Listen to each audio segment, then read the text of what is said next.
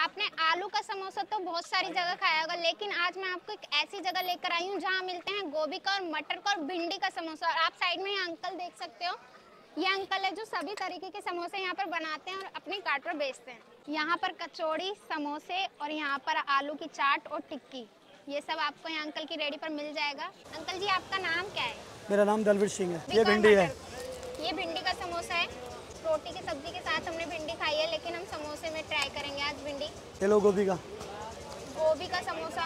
गोभी की फीलिंग देख लो आप कितनी मसालेदार लगी है अंदर से। ये मटर का है। ये है हमारा मटर का समोसा।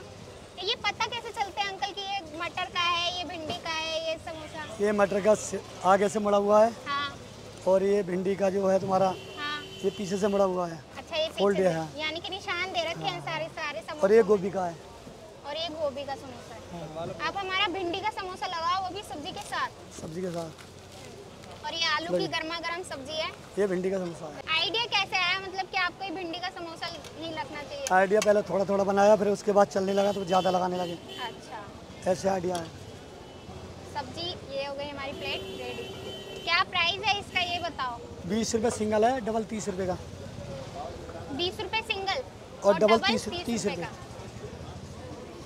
ये ऊपर से डल गया नींबू और ये लग गया हमारा भिंडी का समोसा।